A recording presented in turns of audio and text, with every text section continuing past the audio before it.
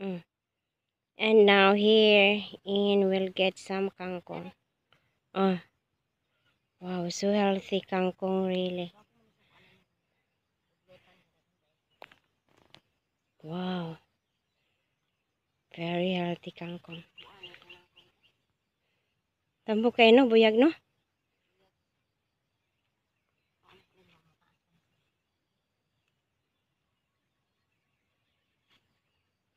We're going to cook that one with sardines. Let's get closer here. So healthy kangkong. I like the kangkong here in the uh, dry soil because it's safe to eat. Clean too. The one that we planted before,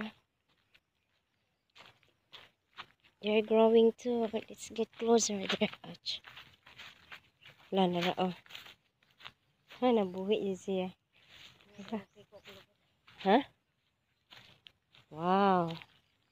Look at the kangkong.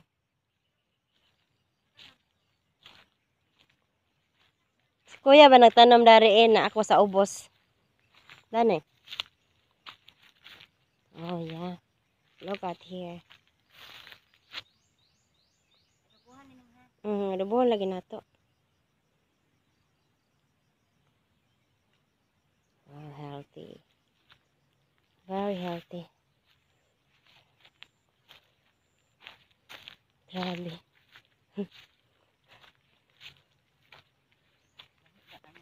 Kani oh, dami akwaon oh. Kani ba? Law muka eh. Grabe.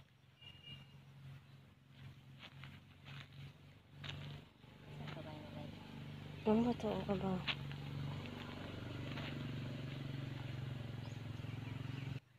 Ulit ka sa. Video. Mukha pa ko kay gamay ra man nagmaarubo. Ano ka na do? Dirirain, kanina kumpul-kumpul. Wow. Look at that.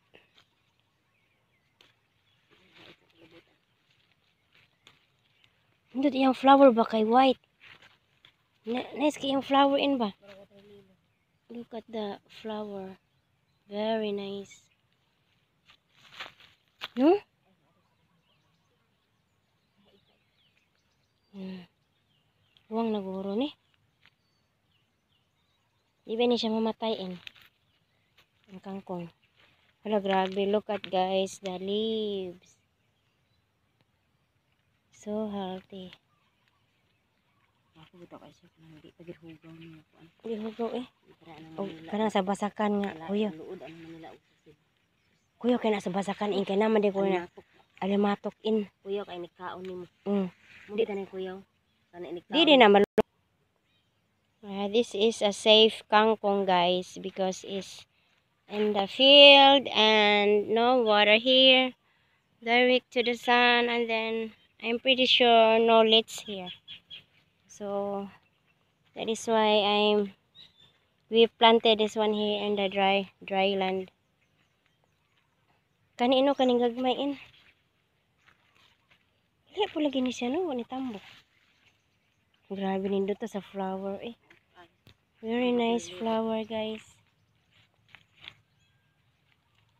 Grabe. Di na ba ni harvest ni kuya? Parang mo oh, salingsing na to. Nawa, wala ko harvest it. Kuha na din nimo diri. Mm. Sige mo ko pangha dili. Wow. Ay, oh, sinigang no? Hala, this is good to make sinigang guys. To. Laki lami. Wow, nice productive productive garden of Philip. That's our panda. Intan ako rin nga kahoy. In, lain kayo in ba? In. Oh. Buyag. This is different tree. Mm. Nara ba yung mga butterfly?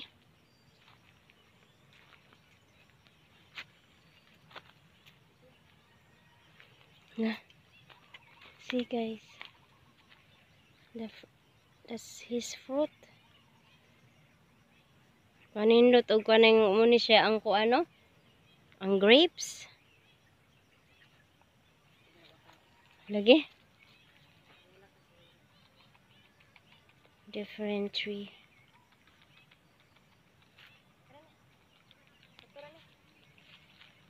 Dari.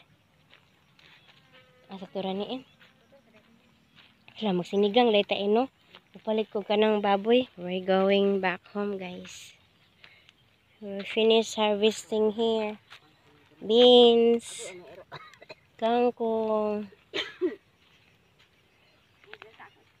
Tanabing. Hala, nice. Pepper. Kari po daan di ba? Pero ko ana ni. Mm. Nindot eh.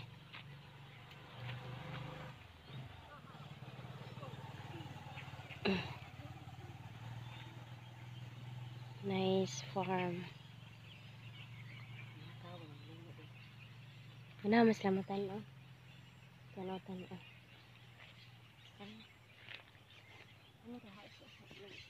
Ay, wow. Let's go home. Heavy. Dili, agi. Asa makaagi? Let's go. Ay, para siya kuan. Huh? Lain kay nga kuan ba?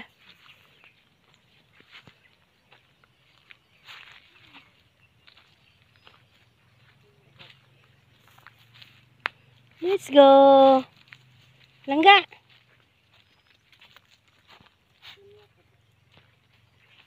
Na pumipinda dito yung gitanom in. Hurry up. Let's go.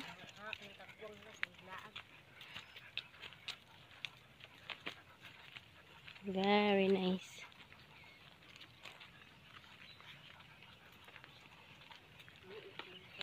Eh, namong Hawaiian na piniyain ay. Oo, lagi may tubig dari. eh.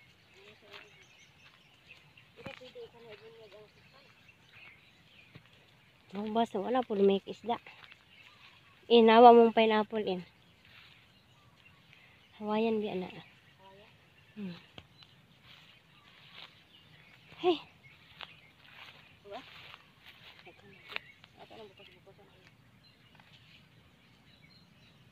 I'm going to sell this one to the market, guys. Tomorrow.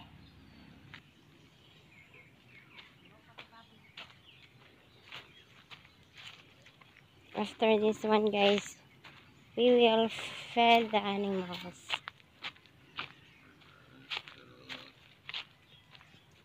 So many work. Hmm, wala na siya na kani ay. Kana. Hmm. Hmm. Kana ready na na sa ibutang dito na may mo din yuta. Hmm.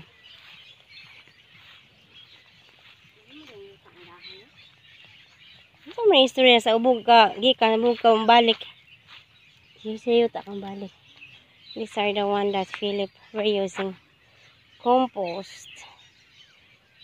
Ay. So we, we we are not our vegetables we're not using a spray or commercial fertilizer. This is it guys. The result. This is the result from the compost. Grabe. Bugat tayo. Muna dani en kani ba? En. Dari ba?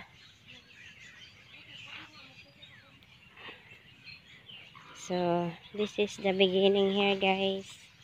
The leaves, dead leaves, green leaves, uh, pig dung.